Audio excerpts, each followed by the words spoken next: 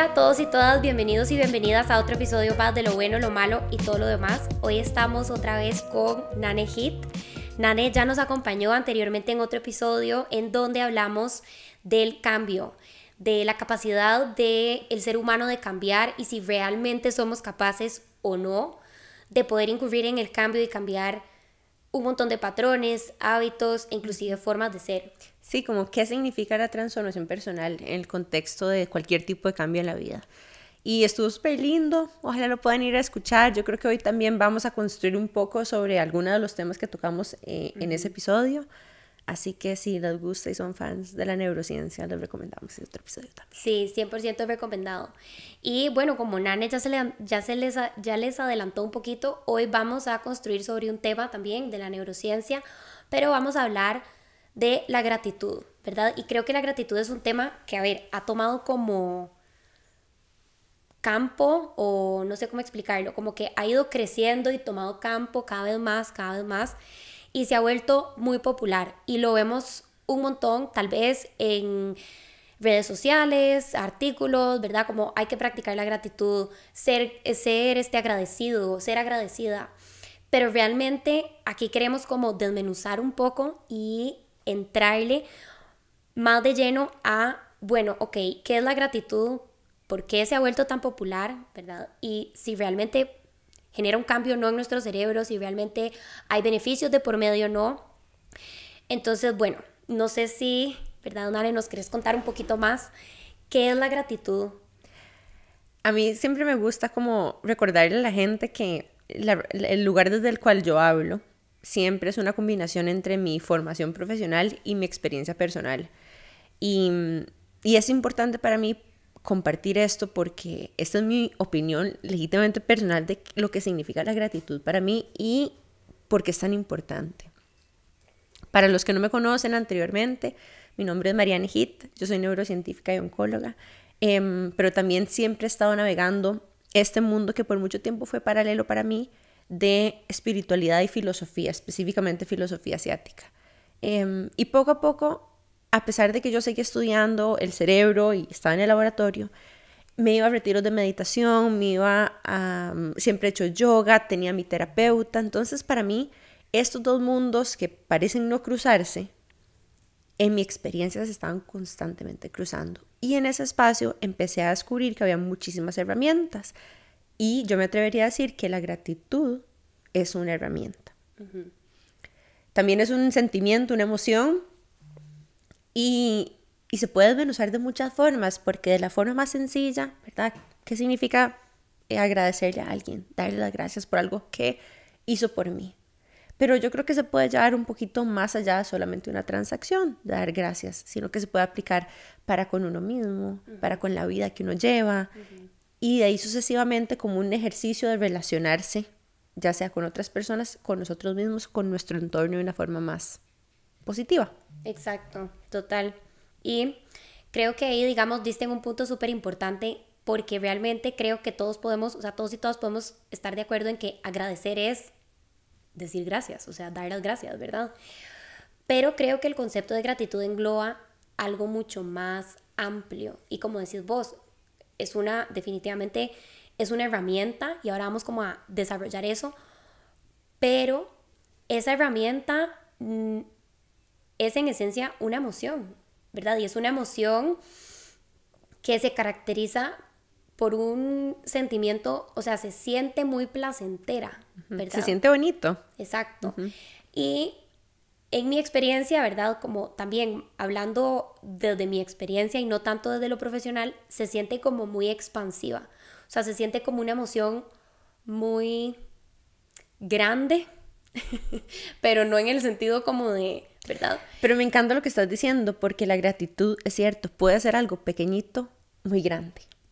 Exacto. Incluso algo que uno no pensaba que iba a tener tanto impacto puede tener un impacto enorme en la vida de alguien. No sé si ustedes han visto como alguna peli donde como que una persona le paga el café a la persona que viene atrás en la mañana, ¿verdad? Como pequeños actos de ese tipo lo hacen a uno sentirse tan agradecido, aunque le sostenga la puerta cuando uno anda, no sé, como lleno de chunches, ¿verdad? A veces son cosas pequeñas, que si uno aprende, aprende a practicar gratitud por las cosas pequeñas, esas cosas pequeñas empiezan a ser más grandes. Y nuestra percepción de las cosas positivas de la vida también va cambiando. Y aquí ya me adelanté un poco a este tema, ¿verdad? De cómo va cambiando el cerebro, pero e, es, es, parte de un hábito también. Y me encantó esto que dijiste, ¿verdad? Que, que se siente grande, ¿verdad? Hay algo como de apertura del corazón, de apertura del pecho. La gratitud yo la siento en el pecho. Exacto. De hecho. Sí, y eso es súper interesante, ¿verdad? Hace, no sé, bueno, los que siguen Almazana, hace como unas semanas hice un, como una seguidilla de historias en donde hablé sobre las emociones en el cuerpo y cómo realmente las emociones tienen su lugar en el cuerpo. No es lo mismo para todo el mundo, o sea, no todo el mundo siente el enojo en las mismas partes del cuerpo que la persona de al lado, pero se hizo como toda esta, esta investigación en donde se le preguntó a las personas, bueno, creo que fue más de 720 personas que se les preguntó, bueno, ¿usted dónde siente el enojo? ¿Usted dónde siente la tristeza? ¿Usted dónde siente la felicidad, la gratitud, etcétera, etcétera, etcétera? Y se hicieron como mapas del cuerpo en donde pintaron, por así decir, las diferentes partes del cuerpo y en esas, entre esas 720 personas los mapas tiraron lugares muy similares a donde las personas sí sentimos las emociones y por eso es que hay mucha gente que siente el enojo en las manos y en la cabeza, otra gente también manos y pecho o piernas, ¿verdad? Pero creo que la gratitud, como decís vos, sí se siente en el pecho, ¿verdad? Es como una, una emoción que se siente expansiva, que se siente grande y que se siente muy placentera, porque eso es importante también. Hay emociones que no son tan placenteras, son incómodas. La gratitud más bien es muy cómoda, es como un espacio en donde nos sentimos bien.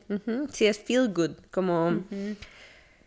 No sé si alguno de ustedes como que se toca el corazón cuando siente gratitud, como, ay, qué lindo, como me encanta eso. Esta es una expresión como física que yo hago mucho cuando siento gratitud, em, porque así como que lo siento en el corazón, como, o sea, cositas lindas, pero más allá de eso es que hay algo sucediendo a nivel neuroquímico en nuestro cerebro cuando practicamos y sentimos gratitud.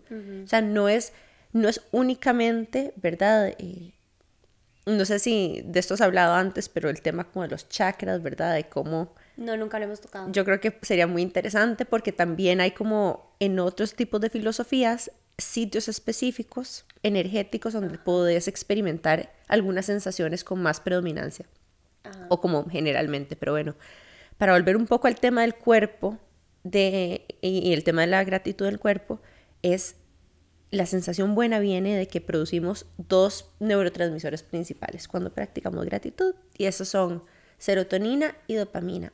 No sé si ustedes ya en algún momento como, o sea, dive deeper en dopamina y serotonina, pero de forma muy, muy a grosso modo, la dopamina es lo que nos hace sentir placer y la serotonina es lo que nos hace sentir feliz. ¿Estás de acuerdo?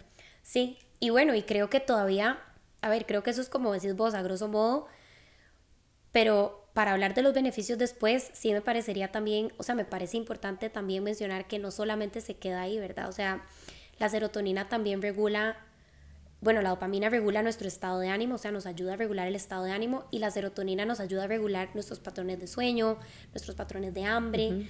este, entonces, no es sola, o sea, no sé, eso es como súper importante, pero después, cuando hablemos de los beneficios, estas otras funciones que acabo de mencionar también son clave, porque el hecho de que la gratitud haga que nuestro cerebro produzca estos neurotransmisores, va a significar que va a incidir directamente en estas cosas que acabamos de decir. Exacto. O sea, no estamos diciendo que reemplaza una terapia, pero se siente terapéutico de alguna forma, ¿verdad? Porque se siente como un poquitito de medicina para el corazón.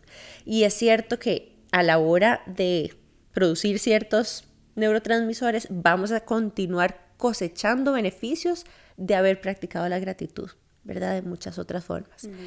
Pero de hecho yo quería como que dar un par de pasos para atrás y tal vez como hablar un toquecito de la gratitud, como que, ¿verdad? ¿De qué formas, o sea, qué significa practicar gratitud? Y yo, bueno, quisiera contarles que para mí he leído mucho acerca de diferentes momentos donde podemos aplicar gratitud, desde momentos donde estás haciendo un duelo, desde momentos donde te levantas, o momentos donde estás enojado, como una forma de combatir el estrés, como una forma de, de practicar mejores hábitos de bienestar de vida en general. Em, y la gratitud se puede practicar, como les dije, con alguien más, ¿verdad? Eh, en formas más sencillas y más tradicionales, como por ejemplo em, decirle gracias a alguien de forma muy, muy sencilla, ¿verdad? Pero también llevarlo como un poquitito más, ¿verdad? ¿A quién le podría yo dar las gracias que no le estoy dando las gracias? No sé, a veces a personas que trabajan como en detrás de las cortinas de las cosas, ¿verdad? O incluso un mesero, al guachimán, em, a personas que están en el servicio que a veces no los vemos, o sea, como que, ¿verdad? Que no se sienten vistos y dar las gracias puede tener un efecto muy grande, muy lindo en el día a día de una persona. Total. Y eso me recuerda, de, bueno, voy a hablar un poco de mi práctica de gratitud a nivel como de experiencia, ¿verdad? Yo empecé a practicar la gratitud hace un montón de tiempo y a ver, no es algo que hago así como todos los días religiosamente, aunque me gustaría, pero es algo que sí tal vez he mantenido como constante. Y mm, lo que yo he notado es que al principio uno empieza así, ¿verdad? Como gracias por por mis papás, por mi mamá, ¿verdad? Gracias por, no sé, todo lo que han hecho por mí.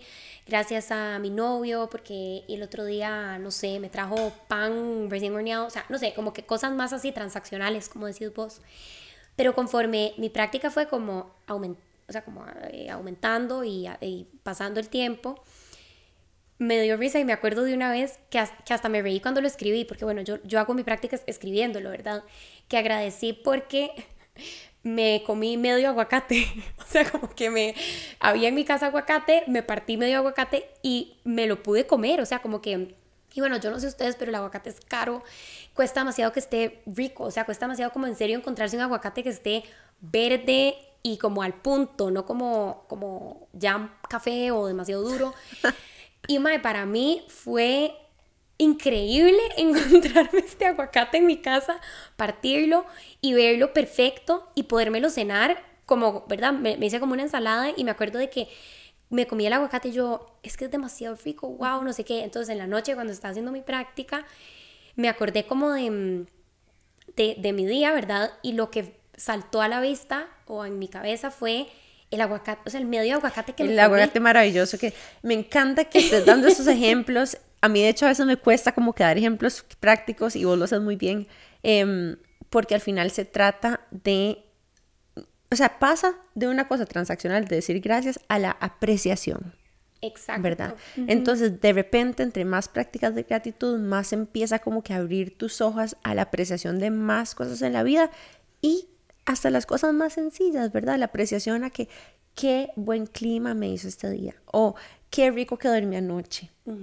¿Verdad? Qué aguacate más delicioso. Y no hay nada como, no sé, nosotros aquí en Costa Rica comer como una excelente manzana de agua, digamos. Es como, qué, qué, delicia y qué privilegio y qué tuanis y qué chiva y qué apreciación. Entonces empezás a gravitar, como vos decís, como entre más gratitud practicas, más encontrás apreciación en las cosas pequeñas y en las cosas que antes ni siquiera tal vez le ponías atención. Exacto, total. Y es vaciló, a mí, digamos, ese día me dio risa, porque obviamente, y creo que aquí hay una diferenciación importante de hacer, yo creo que todas las personas tenemos estas cosas en, la, en nuestra vida que es como por lo que deberíamos de agradecer. Y está bien, ¿verdad? O sea, como tener las personas que tenemos techo sobre nuestras cabezas, o sea, gracias por el techo sobre mi cabeza, que tengo una casa, ¿verdad? Que me protege de la intemperie, que tengo comida en mi mesa, que tengo una familia que me quiere. Todas esas cosas son como las, las cosas por las que sabemos que deberíamos de agradecer, pero eso no necesariamente significa que estamos conectando con la emoción de la gratitud, ¿verdad? O sea, es muy diferente decir como, sí, yo doy gracias porque tengo un techo sobre mi cabeza, a realmente, como decís vos, conectar con esta emoción de apreciar y realmente entender lo que significa eso. Hay una palabra que está surgiendo demasiado en mi cabeza y es malagradecido. ¿Okay? Cuando una persona te dice que sos un, un o una malagradecida, generalmente no es que uno no sea un malagradecido, o sea, ¿verdad? Que uno sea un malagradecido o malagradecida, es que hay algo de esa persona que e, esa persona te está reclamando algo, Está reclamando no haberse sentido visto, no haberse sentido apreciado, no haberse sentido escuchado, no haberse sentido validado por algo que hizo por vos, ¿verdad? Entonces, yo creo que al final la gratitud la usamos de, muchas formas y el agradecimiento lo usamos de muchas formas, pero al final es para conectar con algo, ¿verdad? Yo te doy las gracias por invitarme hoy aquí, me siento vista, me siento contenta por hablar de neurociencias y nerd out de las cosas que más me gustan. Em, y, ¿verdad? Pero de alguna forma eso nos conecta a nosotros de una forma especial, ¿verdad? Porque yo me siento vista por vos, porque vos seguro me imagino que te sentís, no sé, apoyada y que en este tema que querías tocar, que encontraste a alguien que, no sé, te dio hola, te dijo que sí, lo que sea. Em, pero al final es, es, un ejercicio de conexión el que buscamos, no solamente, bueno, ya hablamos de la conexión con otras personas, ¿verdad? En el tema de la gratitud, pero traigamos ahora a la conexión con nosotras mismas, antes de entrar a la conexión con el entorno, porque sin duda va pasando de uno a otro, ¿verdad? Va como evolucionando, va creciendo, se va haciendo más profundo, se va haciendo más sensible también uno a eso, ¿verdad? Como que va desarrollando un ojo o una sensibilidad más, más refinada de lo que puedo ser agradecida. Sí, total. Y bueno, hablemos del agradecimiento con uno mismo. Sí, y creo que eso es un tema gigante o sea, nos podríamos así como nada más enfocar en eso si quisiéramos, no lo vamos a hacer. Pero mm, hoy estaba viendo, de hecho, una, una señora, muchacha, no sé qué edad tenía, pero estaba hablando sobre la gratitud, ¿verdad? Y, y para mí, la parte de la experiencia de las personas, o sea, yo soy psicóloga, a mí eso es lo que me fascina, ¿verdad? O sea, entender la experiencia desde diferentes perspectivas y, y ella estaba hablando sobre cómo la gratitud cambió su vida en el y a ver, vamos a llegar al punto de, la gratitud con uno mismo, ¿verdad?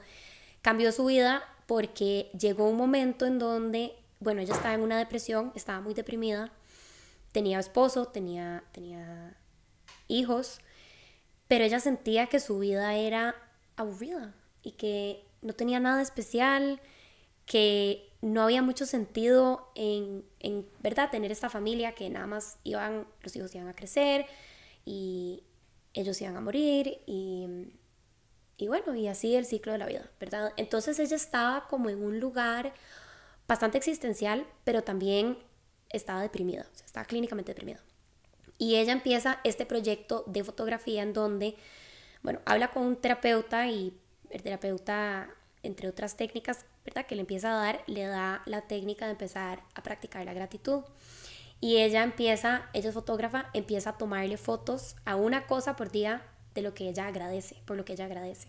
Qué lindo. Sí, y es vacilón porque ella va enseñando las fotos, lo hizo por un año entero, 365 fotos. Entonces va enseñando como al principio eran fotos de lo que ella pensaba que debería agradecer, ¿verdad? Que es esto que acabo de mencionar. Entonces, una foto de su hija, una foto de su esposo. Pero vos vas viendo cómo esto va como evolucionando conforme pasa el tiempo y empezás a ver fotos de una hoja de menta. Este, una mariquita que se le paró en la camisa al su Momentos. Eh, y después empezás también a ver fotos de ella, ¿verdad? De sus pies, de las manos, este, de ella como agarrando algo, o sea, no sé, como este tipo, y a ver, ella no se pone a explicar cada foto, ¿verdad? Pero creo que podemos como hacer un, un una interpretación. Sí, una interpretación bastante educada, digamos, de que obviamente estas fotos y estos momentos se convirtieron en, en momentos de agradecimiento por ella misma.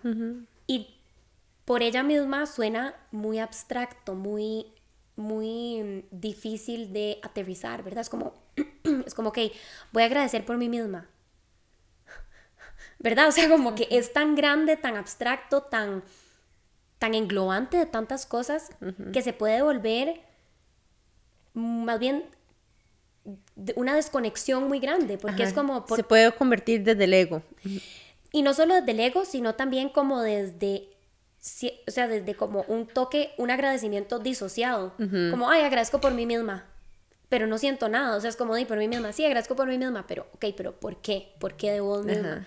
Y ella lo, lo plasmó muy lindo y muy bien, ¿verdad? Como bueno, mis pies y yo en, en, en ocasiones he hecho también el ejercicio, ¿verdad? Como, wow, o sea, realmente tengo como dos pedazos de carne que me llevan a donde quiero ir.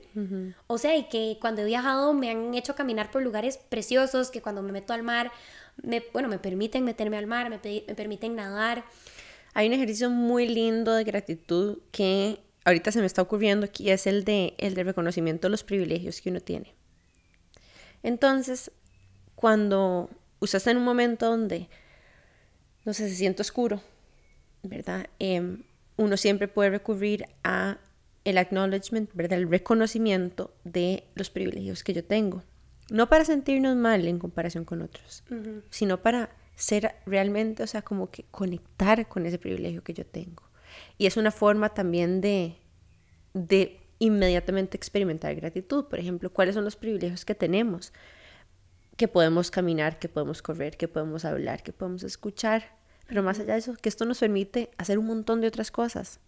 ¿Y qué pasaría si nosotros ya de, un día a otro dejaríamos de tener estos privilegios, verdad? ¿Cuáles serían las experiencias que dejaríamos de experimentar o para qué lo queremos en la vida? Entonces, em, es una forma muy inmediata, como dije, de conectar con un sentido de agradecimiento y de gratitud con uno mismo también y de, ¿verdad? de lo que uno tiene, lo que uno experimenta en el día a día, porque como dijiste, al final, poco a poco, entre más profundo nos vamos en el agradecimiento, más podemos empezar a conectar con momentos y con experiencias y con conexión y menos con cosas físicas. Pero es un, es un ejercicio que hay que intentar hacer y no se logra necesariamente, ¿verdad? De la nada, esa sensación expansiva de gratitud. Hay como que tomarse un momento y conectar.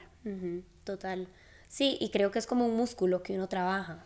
Bueno, hablando de este tema de neuroplasticidad totalmente, ¿verdad? En la medida que uno más gratitud va practicando, más van tus, digamos, tus neuronas a producir más neurotransmisores que te van a hacer sentir bien y poco a poco vas a ir haciéndote más experto y más, ¿verdad? En practicar gratitud, como vos misma lo dijiste, ¿verdad? Llegas a un momento donde tu sensación de presencia se vuelve muy, muy refinada. Sí. Y no solo eso, sino que también creo que nos obliga a relacionarnos con nosotros mismos y con el mundo, pero hablando como de agradecer por uno, ¿verdad? Creo que nos obliga a entrarle por otro lado a como muy usualmente nos relacionamos con nosotros, que es mucho desde la crítica, el castigo, el juicio. Y a ver, esto no es un secreto, ¿verdad? Yo la, realmente puedo decir que el 95% de mis pacientes tienen un diálogo interno sumamente crítico, castigador y como lleno de juicio, ¿verdad? Hacia sí mismos. Y hacia sí mismas. Entonces, la gratitud creo que va muy de la mano con la autocompasión y poder reconocer que tenemos estas cosas que son buenas y que son dignas de, de agradecimiento y que son dignas de ser vistas y de ser escuchadas, digamos. Me encanta esta, esta propuesta que estás haciendo de la gratitud como un ejercicio de amor propio también y autocompasión porque definitivamente como que no sé cuántos de ustedes, yo, a mí me pasa que cuando yo me estoy poniendo crema, después de bañarme o en la playa, como que de repente empiezo como a, darme cuenta, ¿verdad? A conectar con mi cuerpo, digo, ay, ay qué lindo, ¿verdad? Como no sé cuántos de ustedes se logran abrazar, ¿verdad? Y empezar a conectar, ¿verdad? Con todas las cosas que lo hacen a uno, uno mismo también. Y uno puede ir también agradeciendo no solamente ¿verdad? El cuerpo, sino que también las decisiones, las experiencias, lo valiente que ha sido en otros momentos. Em, te contaba ahora eh, anteriormente que hay un ejercicio de gratitud muy lindo para con nosotros mismos, que lo que hace es invitar a las personas, tal vez a, las personas que nos están escuchando hoy, a que si quieren cerrar los ojos por un momento o no, nada más tratar de llevarse y transportarse un momento donde le han estado pasando bien mal en la vida. Un momento lleno de duda, de dolor, de retos. Y desde ese momento, observenlo, qué, qué características tenía el entorno, cómo se sentía su cuerpo en ese momento. Em, ¿Verdad? Traten de imaginarse como características del sitio, de las palabras que ustedes decían, de las personas que lo, que estaban o no estaban ahí con ustedes. Y ahora vean el momento en el que están hoy en día.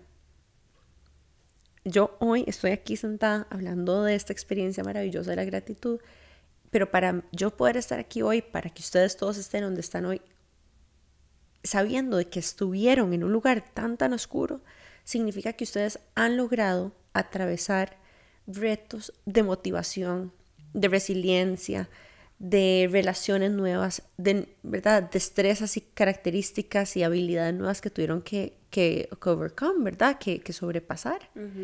Y se tomen un momento para agradecerse a ustedes mismos lo fuertes que han sido para haber sobrepasado todos esos obstáculos y retos que los han llevado a ustedes a hoy estar en un lugar muy diferente. Y pienso mucho en la palabra resiliencia, que es como toda una discusión en la comunidad psicológica porque, a ver, estos son conceptos difíciles de, delimitar, difíciles de, operacionalizar, de concretizar, porque son muy abstractos y son, se pueden ver muy diferentes para cada persona y son difíciles de cuantificar y de medir. Entonces, em, como la psicología es una ciencia, ¿verdad?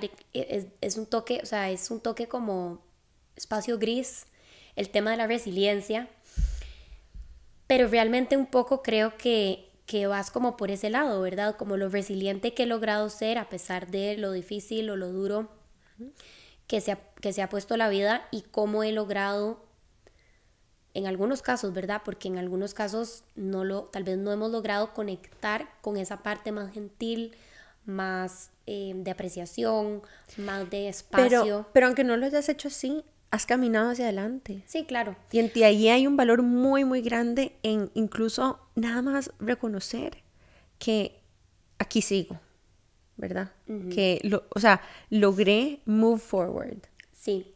Y creo que aquí también hay otra parte que me que sí, a mí me gusta mucho mencionarla porque dentro de la práctica de la gratitud, un poco como en la psicología pop, y la psicología pop me refiero como, ¿verdad? Toda esta, que es como piense positivo y sea positivo, ¿verdad? Y como que todo esto que, o sea, es irreal, o sea, no, está ligado a la realidad, digamos. Em, existe como esta, esta narrativa de hay que agradecer y agradezca por todas las cosas y bla y no sé qué. Y, las, y la gratitud es una herramienta súper poderosa para ayudarnos en estos momentos de dificultad y como decís vos, inclusive agradecer por momentos de dificultad del pasado que nos han dejado lecciones o aprendizajes o que simplemente porque los logramos sobrepasar y pensamos que no lo íbamos a lograr, etc. Pero hay que caminar una línea muy fina y hay que sí decirlo de que agradecer en, en momentos difíciles o agradecer por momentos difíciles no significa invalidar que son difíciles, ¿verdad? Y yo creo, porque yo creo que esto es un discurso que se puede confundir un poco como en esta narrativa, ¿verdad? De piense positivo y... Sí, sí, no es para minimizar la realidad de las sensaciones incómodas. Exacto, exacto. Y yo creo que eso es importante porque puede haber mucho, y esta palabra, no, no hay palabra en español para esto, es como una mezcla entre como juicio y vergüenza, que en inglés es shame ¿verdad? Y es como este, esta mezcla que sentimos como entre que nos juzgamos y sentimos vergüenza de tal vez no ser agradecidos o no estar agradeciendo por lo difícil que nos está sucediendo. Y aquí es donde quiero como dejar claro que usar la, la herramienta de la gratitud no significa invalidar, como decís vos, o decir como... Eh, ¿verdad? como olvídese de lo malo que le está pasando. Ajá, o, o, nada más voy a como ignorar que la estoy pasando demasiado mal y, y solo voy a agradecer y agradecer porque si no soy una mala agradecida. o, y no se trata de eso, ¿verdad? Se trata más bien de ejercitar este músculo o, o volverlo lo suficientemente fuerte para lograr agradecer por las cosas que sí están ahí a pesar de la dificultad que estamos atravesando. Exacto. Entonces sí, puedo estar deprimida, Em, me puedo estar sintiendo 60 grados bajo perro, eh, puedo sentir que, ¿verdad? Que, que no, no estoy conectando como con, la, con, con agradecer por ciertas cosas, pero resulta que un día me siento súper agradecida porque, como decís vos, hizo un día demasiado lindo. O pasé por mi comida favorita, o qué sé yo, una amiga me llamó y no me esperaba que me llamara y me sentí súper bien. Amo esto que estás diciendo, porque también lo que nos invita es a entender de que ni las cosas buenas ni las cosas malas existen en un vacío por sí solas. O sea, existe la posibilidad de que coexistan los momentos feos con pequeñas cosas por las que sí podemos estar agradecidas. Y eso para mí es muy profundo en realidad. Es como, sí, hoy, hoy me siento súper mal, hoy no tengo ganas de salir de la cama, pero hoy se para un pajarito ahí. O qué rica mi cama. Y hoy se siente especialmente deliciosa la cama, ¿verdad? o hoy el café me quedó especialmente rico, a pesar de que hoy me sienta como vos decís 60 metros bajo perro. Entonces, sí. hay, hay, el punto no es que la gratitud va a borrar todo lo malo, pero tampoco todo lo malo te va a quitar todo lo bueno en la vida. Siempre, siempre existe la posibilidad de que coexistan las sensaciones no tan placenteras con las sensaciones placenteras. Exacto.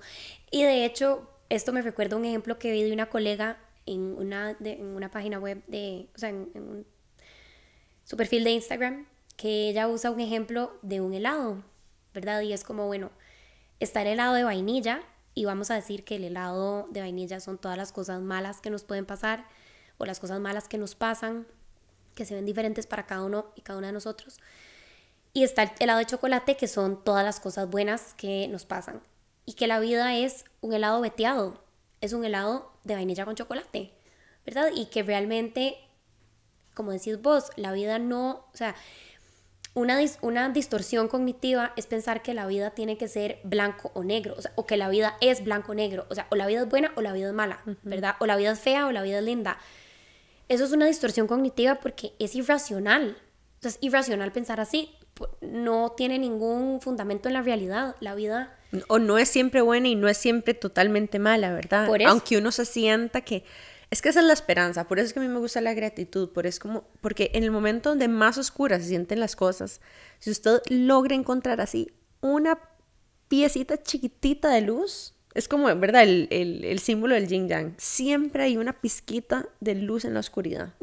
exacto. Y bueno, a ver, yéndonos tal vez un poco y tal vez nos vamos a ir como un poco de tema, pero creo que va como, a, va como ejemplificar bien también esto que estamos diciendo es, para el tratamiento de la depresión hay una mm, técnica que es de las que más efectivas son, que se llama activación conductual, porque lo que hace es que nuestro cerebro empiece a producir dopamina, ¿verdad? Entonces, em, un poco lo que hacemos es que yo a los pacientes les digo, bueno, ok, en este momento en donde estás deprimida o estás deprimido, quiero que me hagas un, digamos, como una, mm, un seguimiento de tus actividades durante el día. Y no me importa si te quedaste seis horas del día metida en la cama, ¿verdad? Y me pones seis horas del día pasé en la cama. Pero hace una, una digamos, como una, una seguidilla de, de tu día y me vas a poner del 1 al 10 qué tan placentero fue para vos cada actividad. Y muchas veces, ¿verdad? Nos damos cuenta que, no sé, por ejemplo, vi Netflix, mi serie favorita, o vi, no sé, un episodio de Friends o lo que sea, y eso está, más, está como más arriba. un piquito. el placer sube. O comí. Y aunque haya comido, no sé, una tortilla, o sea, un gallo de arroz, o sea, no, ¿verdad? Pero digamos sí, em, o sea, la cosa más X de la vida, em, hay un piquito. Por lo general, muchas veces cuando, no sé, vi a mi novio o mi mamá me llamó o este tipo de cosas, hay, ¿verdad? Hay piquitos. Y por ahí le podemos entrar a la gratitud como herramienta, ¿verdad? Como, ok, bueno, sí, te estás sintiendo súper mal y eso es válido. O sea, ahorita estás con una gripe en tu cerebro, digamos, ¿verdad? O sea, estás con depresión, estás, en fe o sea, estás con una enfermedad, estás con una gripe. Pero eso no quiere decir que no haya cosas que vos en este momento por lo menos estés disfrutando, aunque sea un 6 de 10, aunque sea un 5 de 10, ¿verdad? Que bueno, estar en la cama tirada era un 2 de 10 ok, ver Netflix fue un 6 de 10, por ahí podemos entrar a la gratitud. Y de hecho, sirve mucho para cambiar esta perspectiva. Ay, yo justo te iba a decir, me encanta eso, sí. Es una herramienta épica para ampliar perspectiva. Eso es todo, al final. Exacto. Y de hecho, a ver, cuando la depresión es, cuando estamos con depresión, hay una cosa que se llama visión de túnel y es uno de los síntomas de la depresión, que es que la perspectiva que antes tal vez era mucho más em, abierta, se nos hace chiquitita, o sea, como los caballos de la sabana. Eh, no sé si todavía hay caballos en la sabana, sí, ¿verdad? No sé, pero de los que les ponen como los... Ajá, que les ponen las, las cositas acá para que no vean a los lados. Un poco es así, cuando estamos con depresión, es como que solo logramos ver nuestra perspectiva y nos cuesta mucho entender o explorar otras perspectivas y ver las cosas desde otro lugar. Y eso es por una baja en muchos neurotransmisores, ¿verdad? Entonces, el empezar a hacer este tracking de actividades y empezar a decir, ah, ok, bueno, voy a agradecer porque hoy comí rico o porque hoy mi mamá me llamó y la verdad me gustó mucho cómo me sentí o vi a mi novio y nos reímos. O... Es potenciar esa producción de dopamina y de serotonina cada vez un poquitito más. Exacto. Y cuando te das cuenta, estos pacientes cuando se dan cuenta en cuestión de cuatro semanas, seis semanas, o sea, tuve una paciente que me dijo, Alexa, siento que me hizo magia. y yo no es magia, es ciencia. O sea, como que realmente es trabajar desde la ciencia, ¿verdad? Como que ella estaba sintiéndose muy baja, ¿verdad? Muy mal. Y realmente no veía como cómo iba a salir de, sentirse así. Y a través de, ¿verdad? De esto y de enfocarnos un poco en qué me gusta y qué me gusta hacer y resignificar mi vida. Y bueno, metiendo la gratitud ahí, ¿verdad? Potenciamos y también protegemos de una futura recaída. interesante. Y me atrevo a sumarle también como que esto se puede practicar no solamente de mí para con mí, sino que traigámoslo al entorno. A mí me encanta hablar de temas como de neurociencia en el espacio laboral y en los negocios y todo esto, pero por ejemplo, una de las cosas que yo hago todos los lunes durante mi sesión de planning con todo el equipo, porque nosotros trabajamos con Scrum, es hacer así un check-incito de gratitud. Como que cuénteme algo chivo que les pasó el fin de. O que todo el mundo mencione algo cool que les pasó el fin de semana. Y así empezamos la reunión. Si necesitamos media hora, la media hora se usa para eso. Pero ustedes no se pueden imaginar el, el, cambio de tono que hay en la reunión, el cambio en, con lo que la gente luego cuenta lo que va a hacer esta semana.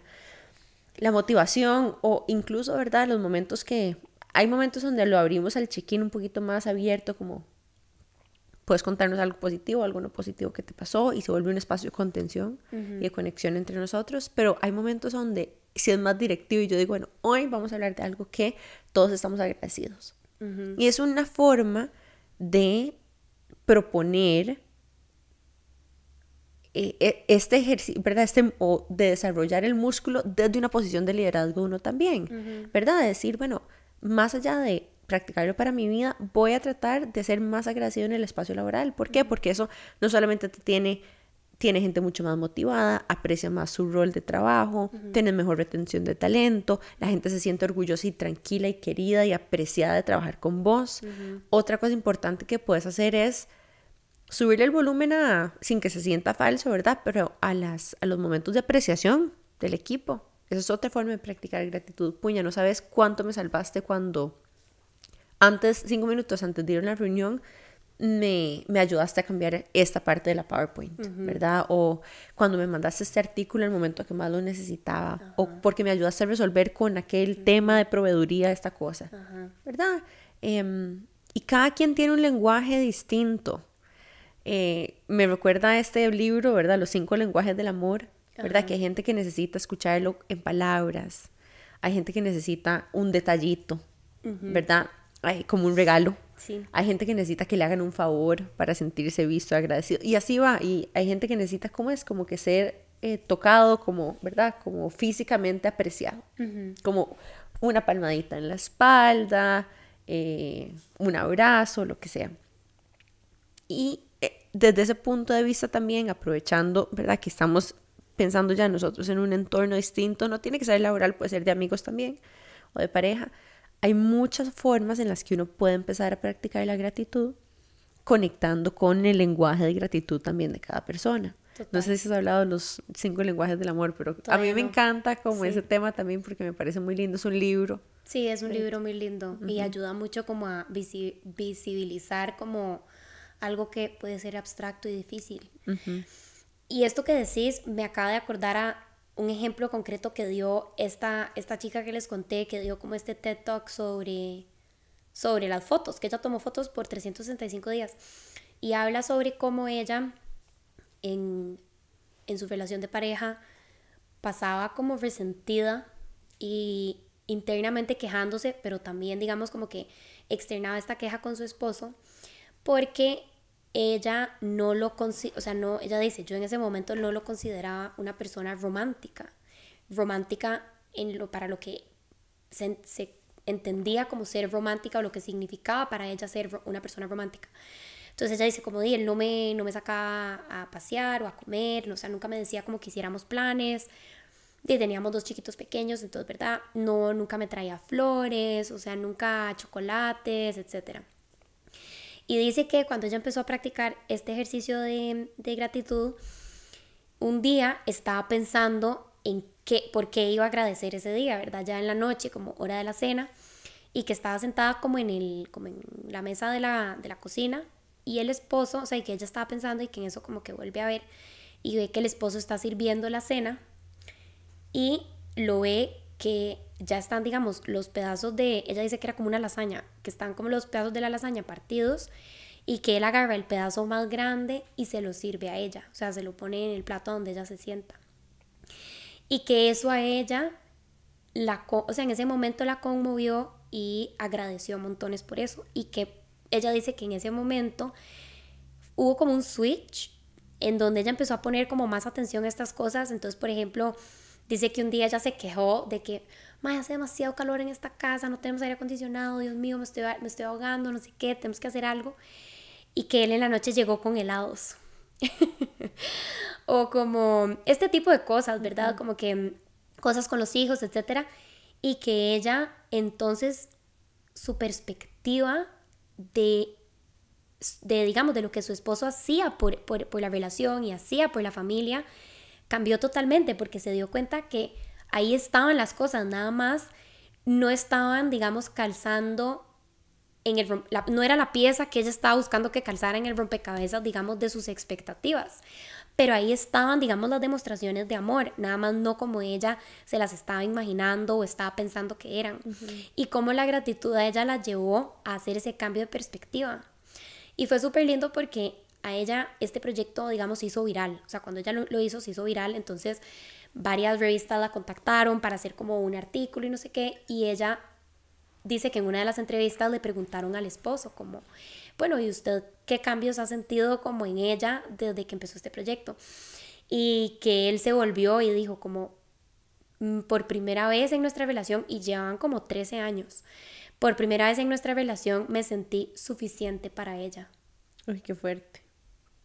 Y qué lindo. Y bueno, ella habla también de lo duro que fue para ella escuchar eso, ¿verdad? Porque, pero sí, también lo lindo que fue que los llevara a ese lugar de la relación, ¿verdad? Como dejar de ver a las personas, la gratitud puede ayudarnos a ver las cosas como son y apreciarlas como son y no estar tratando de meterlas en un molde que son nuestras expectativas.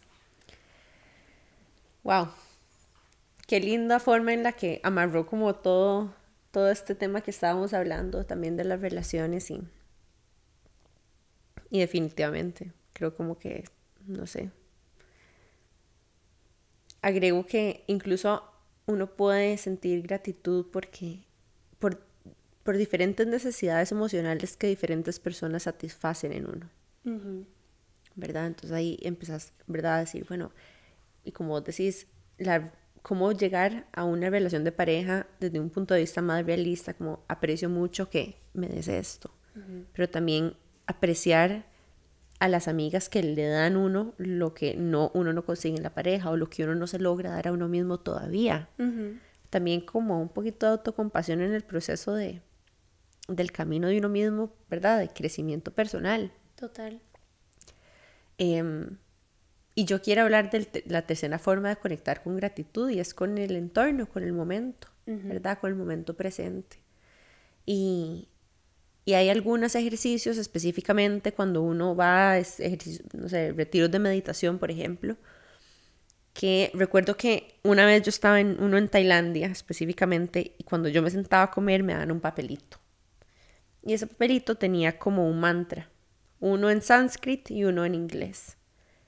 Y no lo repartían, lo ponían así como si fuera un individual a la parte del plato. Y era hacer un, o sea, un momento de gratitud por la comida y reconocimiento de todas las plantas y todos los animales y todas las manos, ¿verdad? Que también existe en el catolicismo, en el cristianismo, ¿verdad? Esa oración de gratitud alrededor de la comida.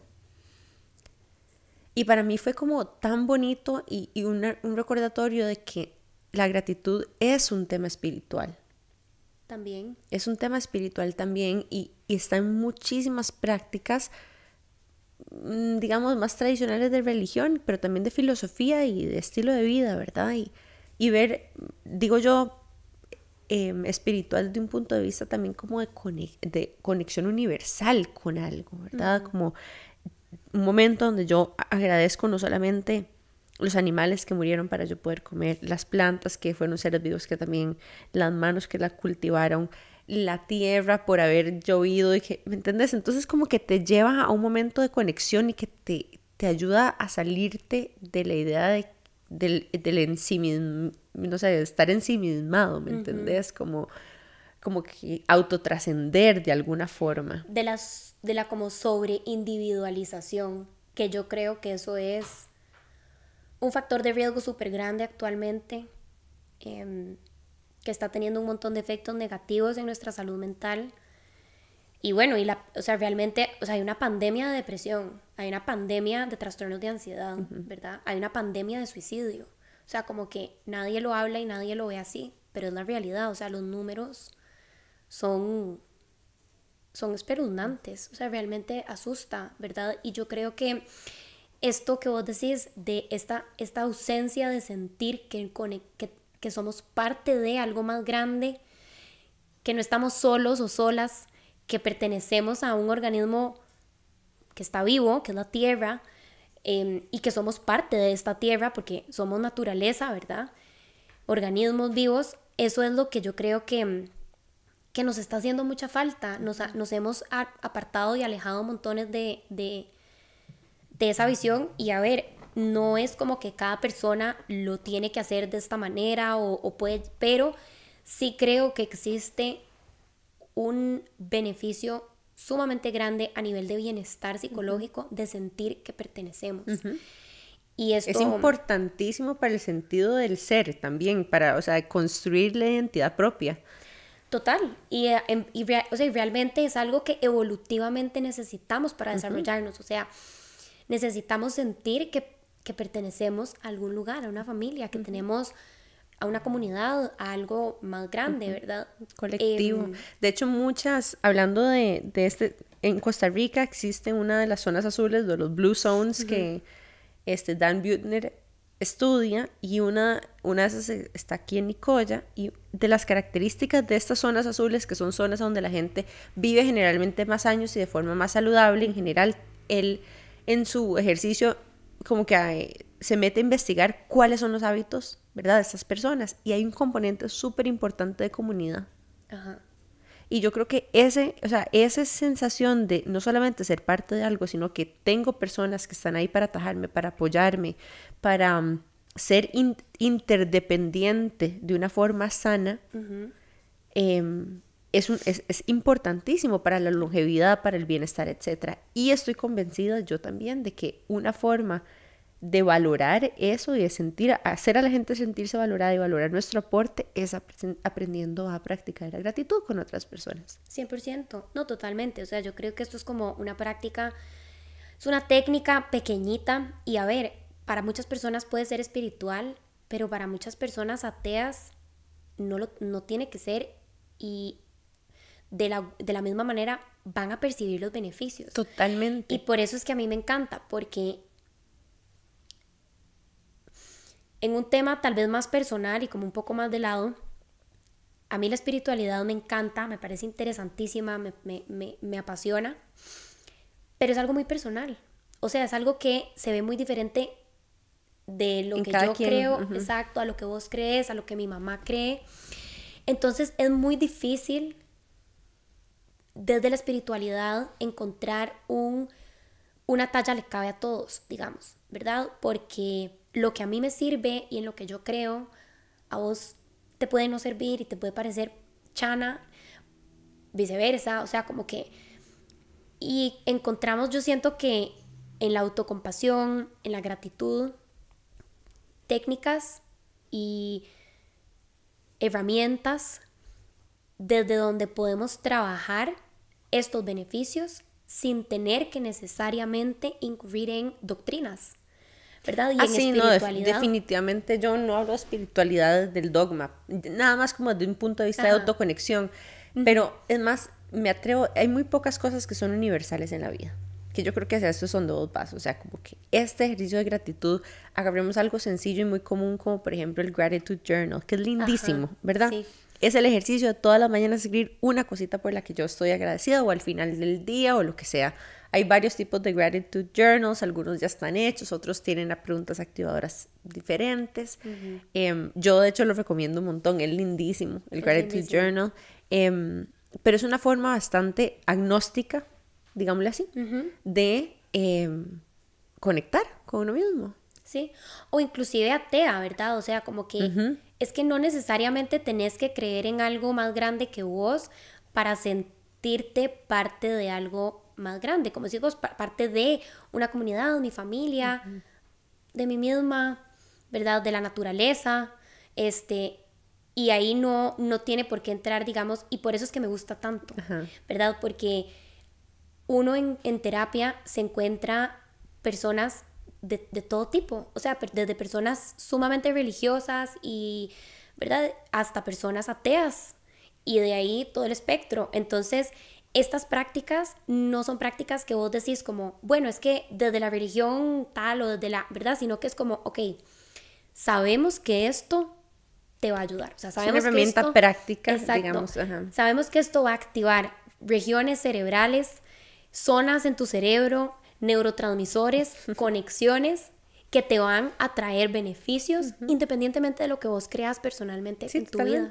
Es como, es un hábito al final. Y eso me parece a mí, o sea, me parece apasionante y me parece lindísimo, porque realmente es como, hay una clave de cómo podemos sentirnos conectados y colectivos sin tener que, ¿verdad?, casarnos con una visión de mundo, o con una cosmogonía, o con una religión, o con una filosofía, o con lo que quieras. Muy lindo. No sé, me encantó este episodio. me encantó que hablamos como un poquito de todo, como un poquito de neurociencias, un poquito de, ¿verdad? Ese sentido del ser, de las relaciones con otros, de las parejas, de la religión. Estuvo muy lindo, muchas gracias. Ay, gracias a vos, Nane, por venir. Y bueno, gracias a todos y todas por escuchar. Si esto es un contenido que les gusta, que les apasiona, que han aprendido, les ha generado valor, acuérdense que nos pueden apoyar de manera gratuita dándole like, comentando, guardando, compartiendo en historias, grupos, etc. Además, viendo el video completo en YouTube y dándole like y suscribiéndose al canal de No pasa nada también nos ayuda un montón. Y bueno, si nos quieren apoyar todavía más, pueden hacerlo a través de Patreon en www.patreon.com slash no pasa nada oficial. Muchas gracias, nos vemos. Chao.